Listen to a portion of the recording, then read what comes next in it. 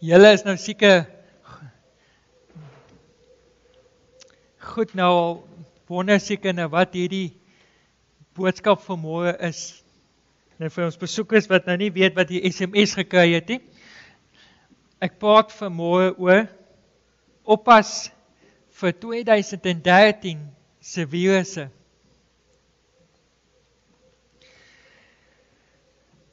Nou voordat ons die ehm um, teks gaan lees, wil ek net so 'n bietjie gesels oor virusse. Nou almal weet wat 'n virus is, né? Ek het verskillende soorte virusse. Nou, maar ek dink die beste kenne om vir ons vanmôre te sê dat ehm um, jy weet ons weet dat mense en diere almal virusse kry en dan word hulle siek en ek dink die beste kenne op hierdie gebied vanmôre in ons midde is Melinda. Sy werk in 'n laboratorium en sy gaan nou ook uh, volgende week nou dan gaan sy na Amerika toe waar sy nou gaan praat met die Amerikaners oor virusse. Nou seker Suid-Afrikaanse virusse wat jy vir hulle moet verduidelik of iets soos nee, nee. Wow, nou my. Maar Melinda, ek gaan vir jou vraag vra. Virus het 'n negatiewe effek op mense en diere, né? Nee. Dit kan dodelik wees. Nou, sê weer. Yes, dit hang van die persoon. Dit hang ook af ehm uh, um, sê immuunstelsel, né? Nee. OK. Dan hang dit af van die soort virus wat hy ook kry. Nou, virusse kan dodelik wees. Né? Nee. Nou, uh, daarom in in laboratorium daar jy beskermde klere. Jy kweek ook virusse om so om virusse te kan bestry. Né? Nee. OK. So virusse is 'n ding wat hy hy kan op uh, jou hy kan op jou hele ehm um, gesondheidstelsel kan hy uh, verlam. Nee, hy kom hy filtreer, hy kan hy kan um, hy kan wegkruip ook op 'n ruk en dan eers later uitkom. Nee, dis virusse. Maar virusse is nie net by mense en diere nie. Het julle geweet dat 'n mens kry ook rekenaarvirusse? Nou rekenaarvirusse het het ook 'n 'n 'n effek. Jy kry hom baie keer deur virusse of deur jy kry hom deur daai USB um stokkie en also aan en dan so dit virusse met die naam vieslike name soos um ouens help my gou, julle ouens wat nou weet, Netsky, MyDoom, Worm en dan ene wat ons gevang het is Trojan, né? Nee. Hy het ons lelike. Wat hierdie virusse maak, hy sit jou um komputer aan en dan sit hy jou komputer af of hy vat net van jou um layers weg en is net 'n de mekaar storie. Nou ek was ook op 'n kolle virus. Ek het die hele um komputer gewipe een keer vir my iska so. Maar okay, nou dis nou ek is die Maar ja, jy kry virusse en weet julle wat? Daar selfs maatskappye daar uit om virusse te te skryf om om in die stelsel in te kom want hoe meer virusse jy versprei en hoe meer rekenaars beskadig word, hoe meer besigheid kry die ander groepe. Dis genuen so. En net gister is nou so toevallig geweest, toe bel 'n persoon. Nou ek is nou nie as 'n valle is 'n ou nou Engels praat en hy's um jy weet en hy praat nou 'n bietjie binne ons hoor ek nou nie baie goed hier, so dan gee ek sommer net vir my Ruska die foon. En die ou bel toe en hy en, en sê toe maar hy wil net vir ons sê ons rekenaar En dis hoe mense, dis hoe hulle vang. Ons rekenaar het 'n boodskap aan hulle gestuur dat daar 'n virus op ons rekenaar is. Toe sê my Iska vir hom, maar wow, wag 'n bietjie. Hoe kan ons rekenaar vir julle rekenaar stuur in julle datastelsel insit dat daar fout met ons rekenaar is? Nee, maar dit werk so, dit is die Windows. Toe vra my Iska nou vir hom, maar ehm um, sê vir ons as as as ons data nou dan op julle rekenaar is, op julle datastelsel is, Wat se Windows het ons? Nee, hy kan ons nie antwoord nie. Maar so vang hulle jou. Nou dit is baie keer. Nou ehm um, ons as mense is ook soos rekenaars. Ons kry ook virusse in ons gestel. En die en die en die en die en en die die ou wat jou vang, die ou wat die virusse skryf is die naam van die duiwel. En hy vang ons met soveel virusse en dan sit ons met virusse in ons lewens en ons weet nie hoe om daarmee te hanteer nie en dit um dit maak ons uh, dis dit dit ehm um, sluit ons hele stelsel af of dit maak ons heel te mekaar of ons kan nie reg funksioneer nie. En vir môre wil ek vir jou sê dat God het met my gepraat en gesê 2013 wil hy hê dat mense reg moet wees. Hierdie gemeente moet op 'n plek kom waar ons reg ingestel sal wees en waar God jou kan gebruik en waar God in jou kan belê soos nog nooit vantevore nie. Want God is besig om mense op te rig vir sy koninkryk en jy's deel daarvan in hierdie gemeente. Nou kom ons gaan gou nou eers na die Bybel toe. Lukas 2 vers 41 tot 49.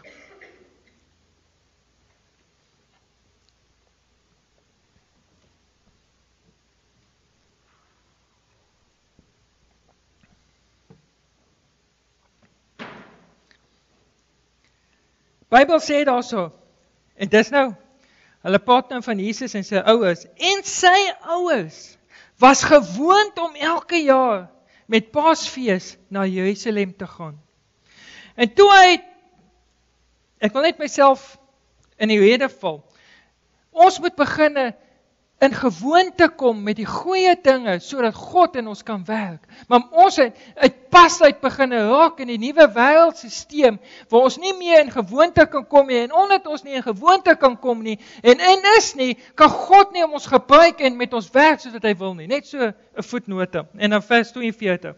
En toe hy 12 jaar oud was, het hulle volgens die gebruik van die fees na Jerusalem opgegaan. En nadat die fees daar vir hulle verby was en terwyl hulle terug gegaan het, het die kind Jesus in Jerusalem agtergebly. En Josef en sy moeder het dit nie geweet nie. Maar omdat hulle gedink het dat hy by die huisgeskap geselskap was, het hulle 'n dagreis ver gegaan en hom onder die familie en onder bekendes gesoek. En toe hulle hom nie vind nie, het hulle teruggegaan na Jerusalem en hom gesoek. En na 3 dae het hulle hom in die tempel gevind terwyl hy in die midde van die leraars gesit en na hulle geluister en uitgevaai het. En almal wat hom gehoor het, was verbaas oor sy verstand en sy antwoorde. En toe hulle hom sien, was hulle versla en sy moeder sê vir hom: "Kind, waarom het jy met ons so gemaak? Kyk, jou vader en ek het het jou met angs gesoek." En hy sê vir hulle: "Waarom het u my gesoek? Het u nie geweet dat ek in die dinge van my Vader moet wees nie. Dit is my teksvers vir môre. Waarom het U my gesoek? Het U nie geweet dat ek in die dinge van my Vader moet wees nie?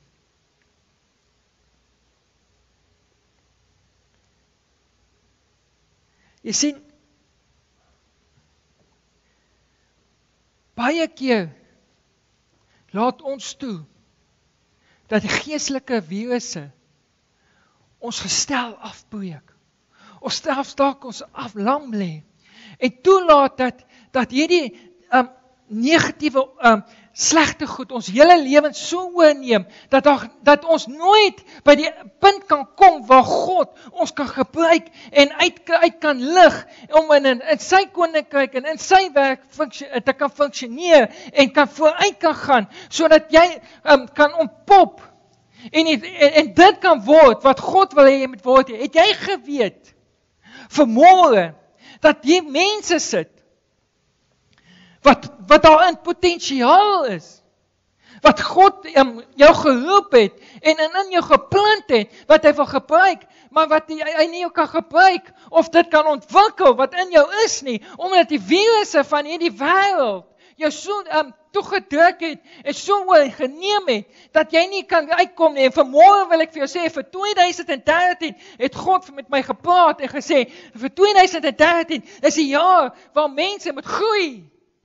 Maar jy moet sal moet toelaat dat die virusse en wat is hierdie virusse? Ek wil net 'n paar virusse vanmôre vir jou noem. Hierdie virusse is dalk baie keer waar jy suksesvolle mense in hierdie wêreld sien. En jy sien dat mense vooruitgaan Maar dalk as jy sit jy vanmôre hierso en jy's jaloers op wat met ander mense gebeur. En jy's jaloers en jy kan nie aangaan nie want jy jy jy's so vasgevang om die mense wat jy rondom jou kyk dat dat God dit wat jy het net met jou kan gebruik en ek vanmôre wil ek vir jou sê as jy suksesvol is, moet jy toelaat dat die virusse van jou lusie uit jou uitge uitge uitge gewerp sal word. En dan is daar nog virusse en dit is dat dalk is dit in jou stelsel dat jy vanmôre met nie op die regte voet met mense staan nie. Dalk is jy nie um, is daar onvergewensgesindheid in jou hart en vanmôre moet jy op 'n plek kom dat mense op jy op die regte voet op die, in jou kan kom en op die regte plek kan staan sodat jy jou hart kan skoon kan wees sodat God sy liefde en genade in jou hart en jou lewe kan uitstort. Want vanmôre wil die Here jou gebruik. Maar jy sal moet ontslaa raak van die ehm uh, virusse. Dalk is dit vanmôre virusse van skuldgevoel. Skuldgevoel dat jy nie kan ehm um, um, dinge wat jy teenoor mense gedoen het. Skuldgevoel dalk teenoor jouself. En vanmôre moet jy hierdie ontslaa raak van hierdie virusse. En dalk is daar nog virus van angs. Dalk is daar 'n virus van hebsug. Dalk is daar 'n virus van bitterheid. Dalk is daar 'n virus van woede. En God sê vanmôre, jy moet ontslaa raak van hierdie virusse in jou lewe sodat jy rein voor hom kan staan, sodat hy sy gees in jou kan stort en deur jou kan werk. En en so kan word dat jy vermoë op 'n plek kan kom en 'n die Bybel sê in 'n right standing kan staan met God sodat God vermoë jou kan gebruik in 2013 maar as 2013 se vingers jou gaan toemaak en 2013 jou gaan versmoor, gaan God jou nie kan gebruik nie. En vanmôre wil ek vir jou sê in 'n profetiese woord het God met my gepraat en gesê, as jy nie op 'n plek is nie, gaan hy aanbeweeg. Jy gaan nog steeds deel wees van die gemeente. Jy is nog steeds 'n kind van God, maar jy gaan mis wat God in jou lewe wil deponeer en jy gaan mis wat God in die gemeente wil deponeer as jy net wil so aangaan soos wat jy aangaan. Maar dit is jou keuse vanmôre om te sê dat ek sal klaarmaak met 2013 se virusse sodat God weer iets nuuts in my hart en my lewe kan doen. En ek weet julle wat, daar was iemand op hierdie aarde wat sonder virusse geloop het. Iemand op hierdie aarde wat skoon was en sy naam was Jesus Christus. Die Bybel sê dat hy sonder sonde was.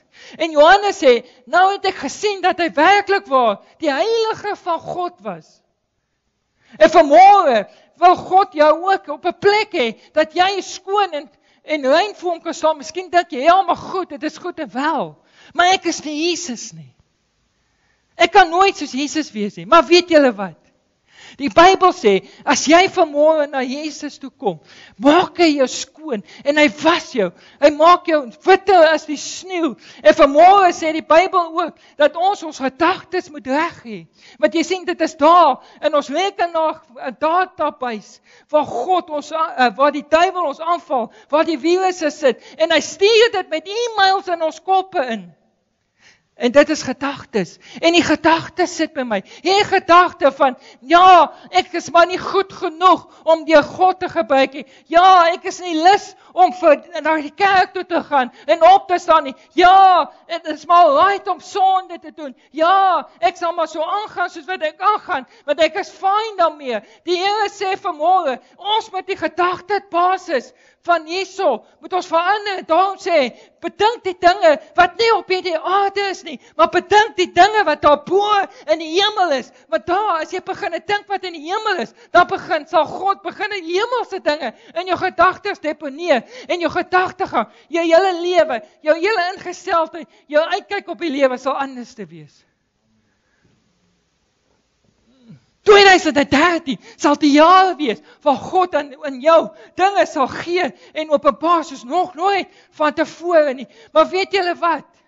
Die probleem is net soos wat in die liggaam virusse um wegkruip vir ons. Kom virusse en dit kruip weg in die rekenaar. Dan op 'n dag dan oorval dit jou. En weet julle wat? Die kerk het op 'n plek gekom waar ons te gemaklik is met sonde en die sonde slaap in die onderkringe van die in die kerk. En dan op 'n dag dan gaan dit die kerk vang. En vanmôre wil ek vir jou sê die Here is besig om die kerkfondamente te skud, om hulle heilig te maak, want hy's nie net tevrede met die toestand van hoe die kerk lyk nie. Hy wil hê dat ons gesuiwer en geheilig vir hom sal wees sodat ons die voorlopers sal wees. Maar weet julle wat?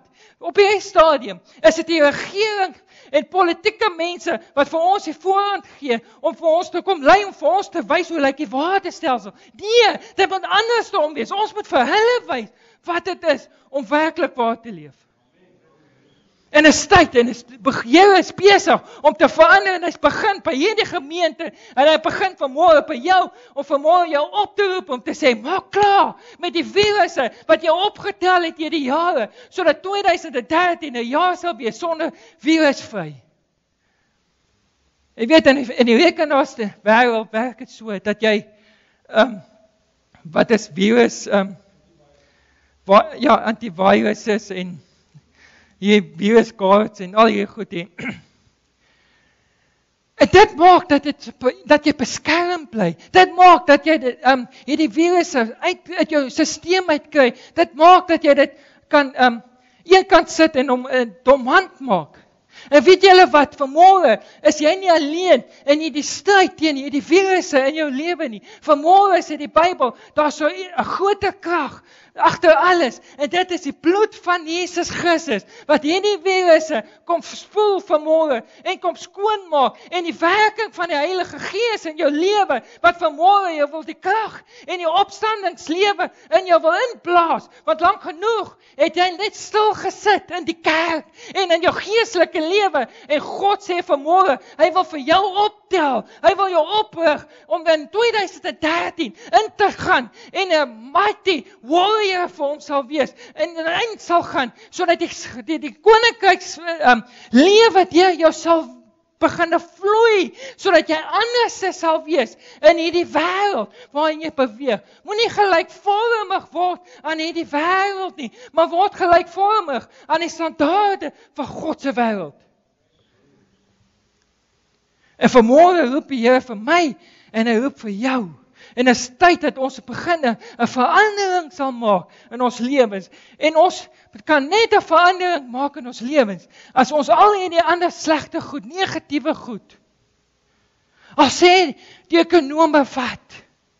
Al sê die mense wat? Al wat se negatiewe praatjies is daar ook al wat rondom jou is. Vanmôre sê die Here, daar's iets positief by jou betrokke en dit is God homself. Um, Al lyk jou lewe hoe duister vanmôre. Daar's lig vir jou, want die krag is nie vanuit die wêreld uit nie. Die krag is nie van die duiwel af nie, maar die krag vanmôre is uit die Heilige Gees en uit die bloed van Jesus wat in jou lewe werksaam moet wees.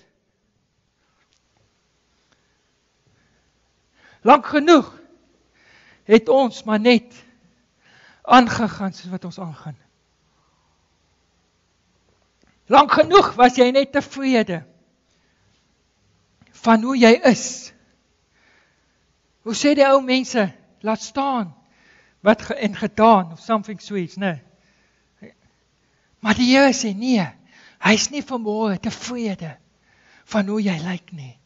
Jy's nie in werkende toestand in jou stelsel nie. En vermoë sê die Here, dis tyd dat jy opgelig word. Jy wat in in die donker gat sit vanmôre. Jy wat vanmôre in depressie sit. Jy wat vanmôre sit vanmôre met hartseer hart. Jy wat vanmôre sit met 'n beklemming op die hart. Jy wat vanmôre in gevangenskap sit. Die Here sê vanmôre, dis tyd dat jy vanmôre um los sal kom vernuwe sal word, uitgelig sal word, want dit is 'n jaar van versoening, is 'n jaar van verryking, is 'n jaar van verlossing, is 'n jaar van voorspoed, is 'n jaar van vooruitgang. Wat hoe kom? Nie omdat ek so sê nie. Maar omdat die Here so sê. En omdat die Here alreeds vir jou daar wag. En dit is dalk tyd dat jy vermoë jouself net 'n bietjie sal ondersoek en stel. Lank genoeg was dit oukei okay om te wees soos wat jy is. Maar vir die Here is dit nie oukei okay nie. Want die Here soek soveel meer. Die Here soek soveel beter. Jy weet ek lees gister in die koerant, ek dink was gister in die koerant of eergister in die koerant van van een van die kerke speel, ek dink dit was Philande wat sê is lekker om nou weer terug te wees en goed te speel. Maar hy kan nog soveel beter. En ek wil vir julle sê, lank genoeg was dit alright om net 'n Christen te wees. En om net by die kerk te wees en net 'n bietjie van God te ervaar. Dis tyd dat ons verbeter en dieper sal ingaan in dit wat God vir ons beplan het. En in stoor het. Dis tyd dat jou hart weer op die plek sal wees waar God wil hê dit moet wees. Dis tyd dat die Heilige Gees jou kan gebruik om in 'n plek te wees soos nog nooit vantevore. Maar dit is vanmôre nie my keuse nie. Dis jou keuse. Dit sal wees. Jy weet wat daai virus kan daar wees.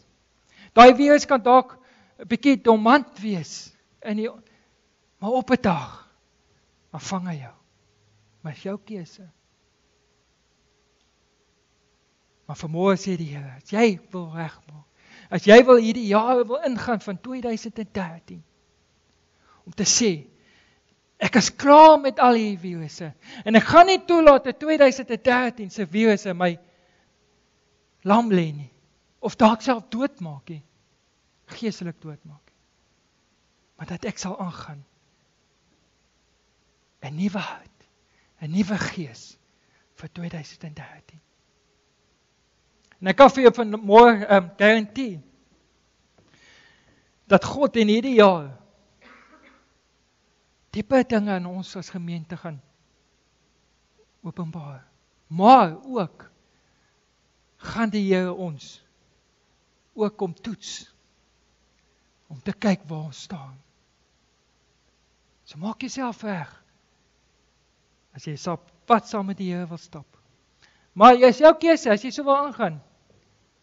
Gaan so aan. Maar as jy wil verbeter, as jy wil vir meer die Here wag Nee, sal daar wees. Kom ons sluit hier oop. Ek wil vir jou vanmôre uitnooi.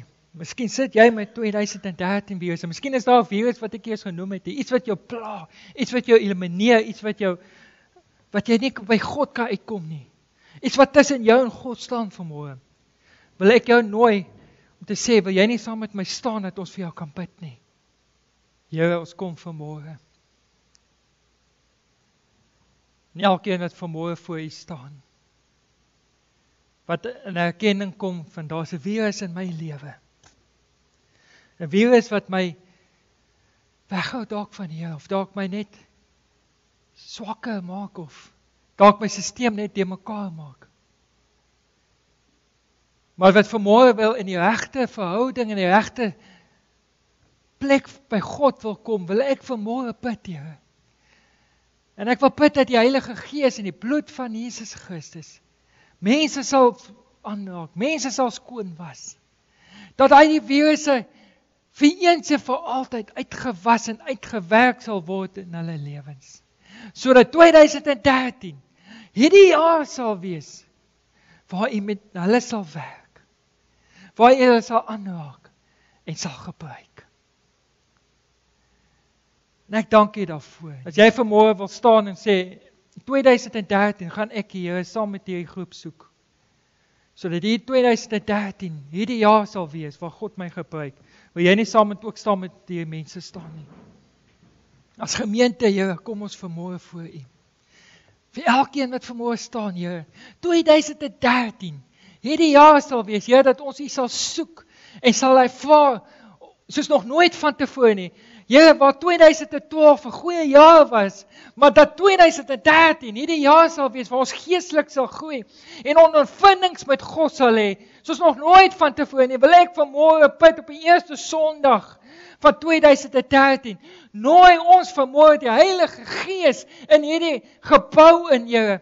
Here, dat dat die Heilige Gees net in u gebou nie, maar in elkeen se lewens wat die kerk van God is vanmôre sal beweeg en werksaam sal wees in 2013 dat ons vooruit sal gaan, Here. En en en saam met U hierdie pad sal stap in die naam van Jesus Christus sodat ons die army, die voorlopers van God se koninkryk sal wees. En ek dank U daarvoor in Jesus naam. En die gemeente sê Amen.